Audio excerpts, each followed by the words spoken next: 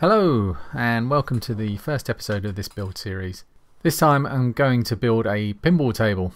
Living in the UK in our tiny houses I don't have the room for a full size table so I'll be making something a bit smaller and I'll get into that in a bit. Obviously this will be a virtual pinball table. That's an increasingly confusing term these days so what I mean by that is the playfield will be a screen along with the back glass section and the scoreboard or DMD the dot matrix display will also be a screen. And for good measure, I'll be adding another screen which will sit on top of the back box, a topper screen. In fact, the back glass screen and the DMD screens will be a single screen which will be divided physically with a bezel. So in total, I'll be using three screens. One, two, three. I've had to make some compromises, uh, not only to the size but also a couple of important components that with a larger budget I will probably choose to use more authentic parts. For instance the legs, these will be 35mm angle iron. Real pinball legs which have a particular shape and form are pretty hard to come by in the UK. A set would probably cost around £100 and even then with my smaller form factor I would not be able to easily make them fit. They are basically the same shape as the angle I'll be using and I'll shape them to give the impression of authenticity. The second big compromise is the lockdown bar. On a real pinball table this serves two purposes. Firstly it is the part of the table that you rest the palms of your hands on while you play. The corners are rounded over to make it feel comfortable to lean on. Secondly, the lockdown part of its function is to lock down the glass which covers the playfield on a real table. They also have a lockdown receiver, which is basically what holds it in place. To unlock it, you open the coin door with the key, and inside the table there's a catch that releases it. Now, two things prevent me from buying a lockdown bar. First is, again, cost. They're pretty expensive for a wrist rest. The second is tied to the first. My table is quite a lot smaller than a real cabinet, which prevents me from getting a standard part. If I did this, it would mean cutting a chunk out of the middle and welding the two halves together something that is beyond my toolset right now. You can purchase custom lockdown bars made to fit any table width, but they are very expensive and not available in the UK to my knowledge. So instead I'll be making a lockdown bar from a slab of oak. I'll round off the corners to make it feel comfortable and I think it will feel nicer than metal to lean on. It won't be removable, I will have to find another way to hold the glass in place. Before I get into the more specific parts of this table, I want to talk about the digital pinball scene. For the last couple of weeks, I've been immersing myself in the digital, visual, virtual pinball scene. There has been much to learn. At times, it's been like learning to code in a foreign language. There's a huge amount of information out there which can be confusing and difficult to sort through. Part of the problem is the different pinball software that's available. You have Future Pinball, Pinball FX 2 and 3, and Visual Pinball 8 9 and 10. Future Pinball and Visual Pinball are community supported and free. Pinball FX is also free on the Steam platform but you have to buy the tables. I think you get a couple of basic ones for free. Visual Pinball is where I've seen the most change over recent years. It's on version 10 now and has a lot of very interesting features built in. On top of this are the front ends. Popular ones are Pinball X, Pinball Y and Pinup Popper. I've not looked too closely at the X and Y flavours and I'll be using Pinup Popper. Visual Pinball X or 10 has the capability to provide physical feedback as well as run other toys such as LED lights, shakers and chimes. All of this is done using a, another acronym, DOF. DOF stands for Direct Output Framework and is basically black magic. The feedback system that I will be using, uh, SSF, uses DOF to work. I know, acronyms. This is not an exhaustive list of software required for a pinball table. VPinMAME, B2S Server, Pinup Player, Pinscape, XDMD, Ultra DMD amongst others. I won't be making any guides on this stuff, I barely understand it myself, having just got it sort of working on a test setup. This series will be, once again, me sharing the build with you.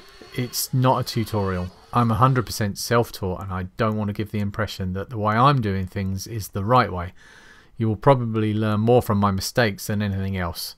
So once more I'll be including all of the gaffs I make. And apologies in advance for all of the daft faces I'll pull. This isn't the first time I've looked into building a pinball table. Some years ago I did some research on the subject and at the time I discovered that people were using cheap solenoids inside their cabinets to simulate physical feedback. These would be mounted under the playfield in various positions to simulate the ball hitting bumpers, flippers and the like.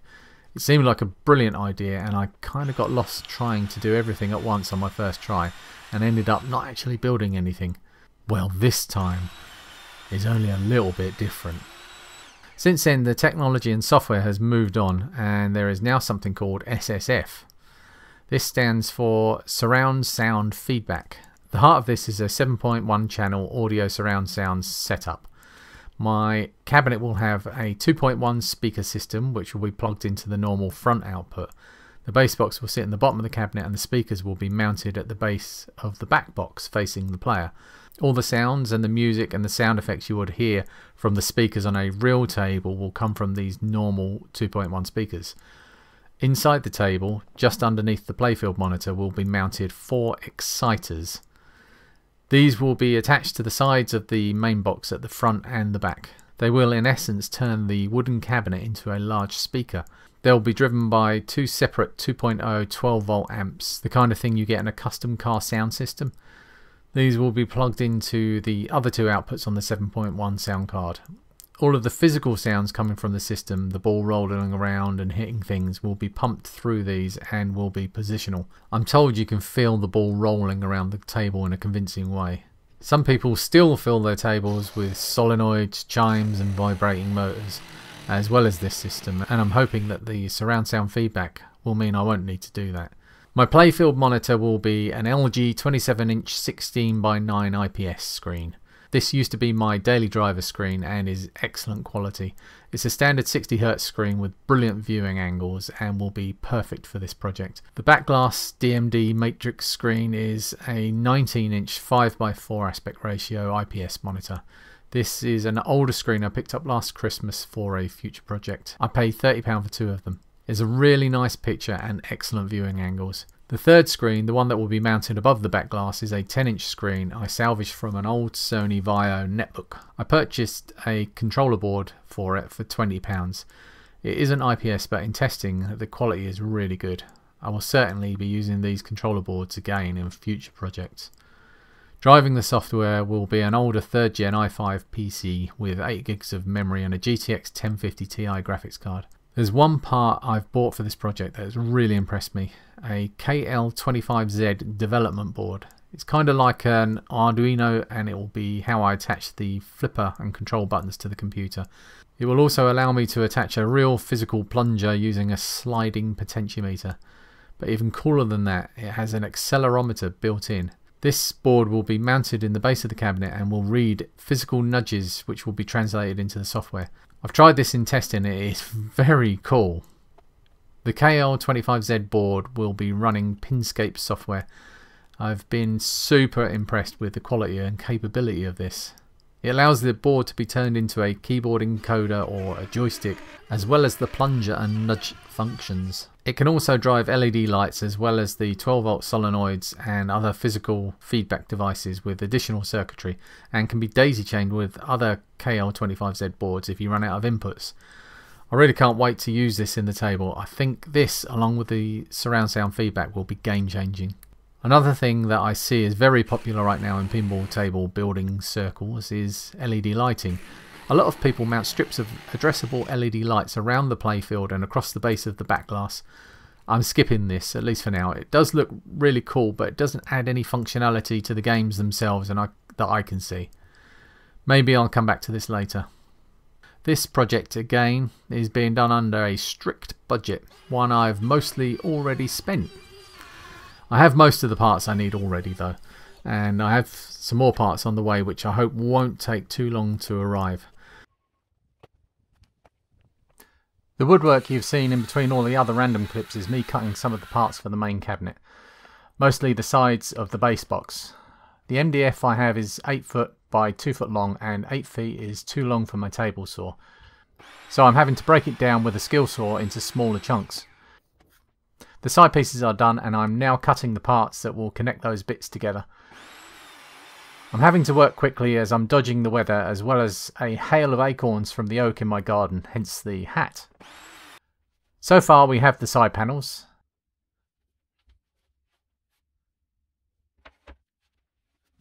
And the base. And in a moment you'll see some other bits as well. Will it come off in one go?